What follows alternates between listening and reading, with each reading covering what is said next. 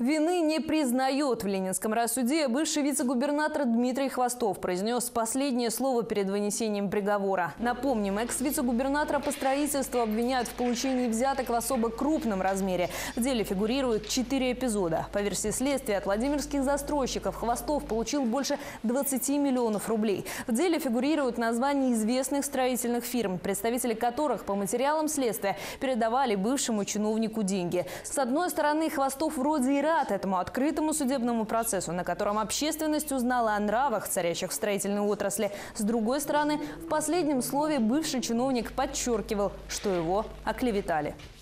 Показали истинное лицо некоторых строителей, которые дали ложные показания против меня.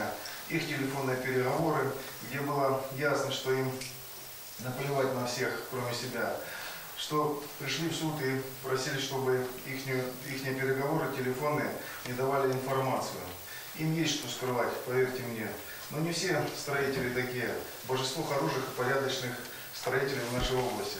Сам Хвостов вины не признает. Он считает, что дело сфабриковано и имеет политический характер. Бывший вице-губернатор по вопросам строительства уже два года находится под стражей. В своем последнем слове он поблагодарил судью за то, что тот разрешил ему свидание с сыном и звонок к матери. Теперь Хвостов надеется на справедливый вердикт суда. Приговор по его делу озвучат в ближайшую пятницу, 23 ноября. Хочу отметить, что свидетели, которые давали показания против меня в суде, ясно сказали, что на них было оказано давление со стороны следствия, что обозначает, что все дело сфабриковано против меня.